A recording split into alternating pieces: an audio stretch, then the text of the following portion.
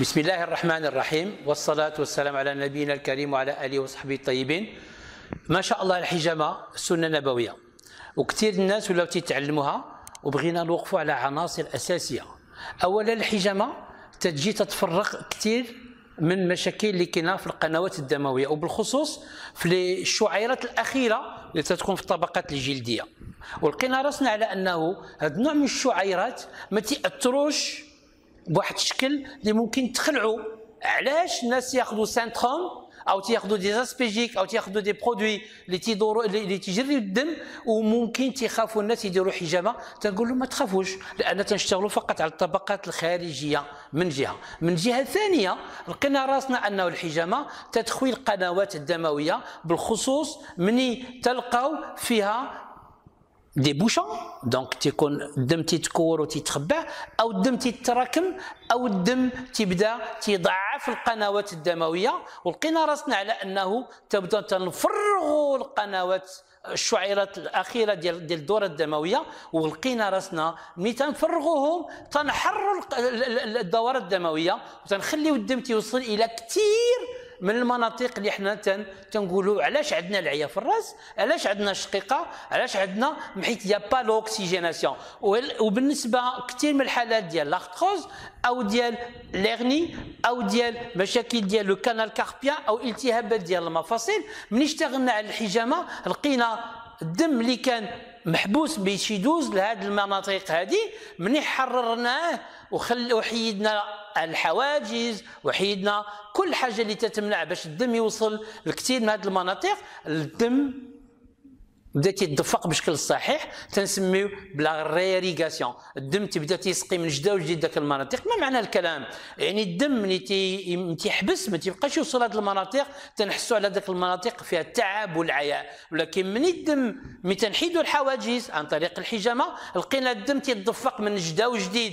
ما معنى من جدا وجديد؟ une bonne oxygénation لقينا على أنه الدم ذاك البلاصه ولات تتغذى بشكل صحيح حيث القنوات الدمويه تيوصلوا لنا التغذية إلى كل نقاط من نقاط الجسم. لقينا راسنا على أنه الأوامر ديال الدماغ والأوامر اللي خصها توصل لكل جزء من الجسم توصل فالجسم تيتفاعل كذلك الجانب الهرموني. كثير الناس ملي كان عندهم مشكل في الجهاز التناسلي رجل أو امرأة أو مشكل على صعيد هذه المنطقة هذه لقينا الجانب الهرموني ما تيشتغلش بشكل صحيح. ملي درنا الحجامة الدم تدفق بشكل صحيح وذاك المناطق تجاوبات إما مشكل ديال ليبوفيز مشاكل آه، النشاط الهرموني أو المشاكل ديال الدورة الدموية عند النساء وتحررت الدورة الدموية من كثير من ذاك القيود والعياءات والخنق. كذلك لقينا راسنا كثير من الحالات ديال الكلى كثير من الحالات ديال ديال العمود الفقري في الروماتيزم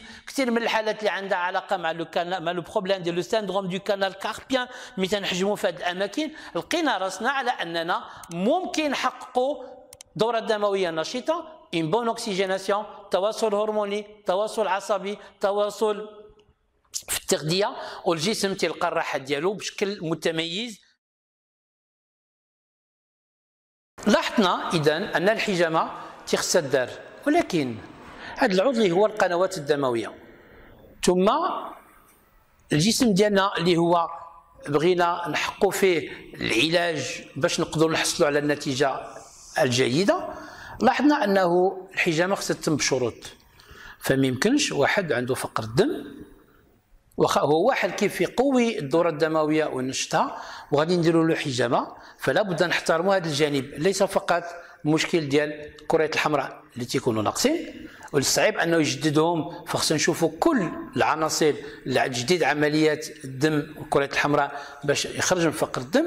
إذا ما يمكنش نديروا الحجامة كذلك ننتبهوا حتى لي بلاكيت الصفائح حتى هما تلقى الناس عندهم نازله خصوص لا كانت نازله بواحد بواحد الشكل كبير هو أقل من 100 قل من 100000 أنه تنمنعوا الحجامة. إذا حتى لا كانت نازله حتى ب 10% أقل من 150000 إذا خصنا لابد نحضيو ما نديرولوش حجامة؟ لأنه لي بلاكيت تلقاو راسنا على أنه كاين مشكل في إعادة بنائهم ولقاهم في الدورة بشكل صحيح. إذا خصنا نتابعوا ديما التحاليل ثانيا لقينا راسنا على أنه الناس يكون عندهم تيكون عندهم مشاكل ديال الحساسية.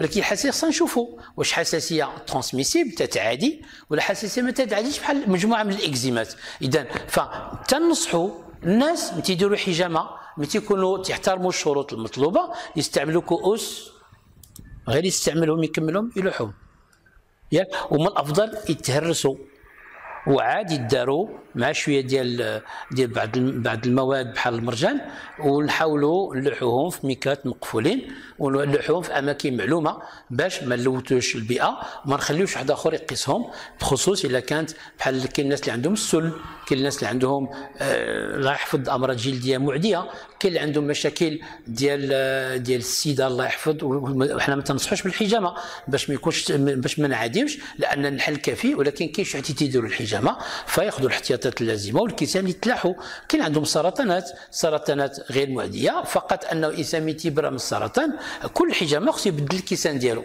كل حجامة يبدل الكيسان ديالو في أمان الله.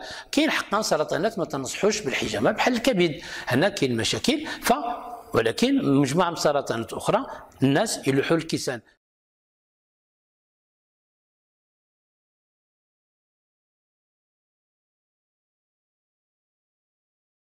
لاحظنا وأكدنا الشيء التالي. المرأة مادام حامل ممنوع ممنوع الحجامة.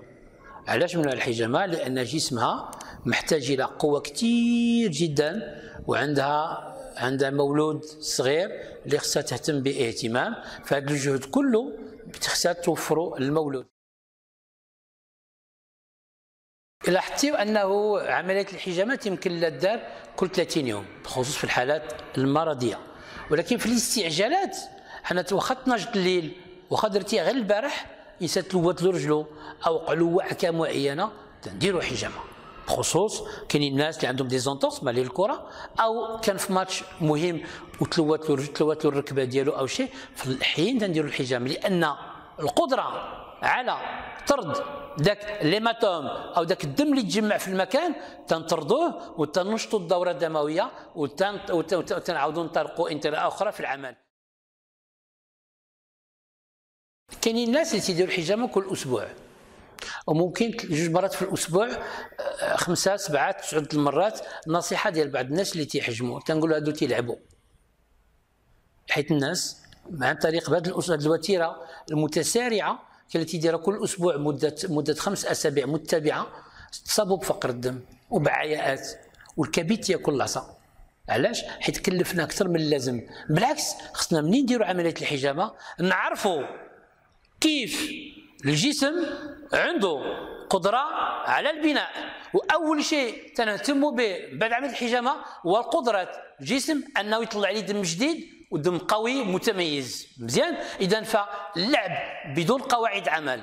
والناس ملي تنعطيهم فرصة تبداو يتصرفوا من رأسهم ظهر لي حرام عليكم بحيث تتمحنوا المريض وما تعطيوش فرصة فين أنه يتقوى. حنا بغينا الحجامة لرفع المناعة وطرد الأمراض. أما من الناس تيديروا الحجامه من بعد الحمل؟ شهرين ثلاث شهور أو في السنة.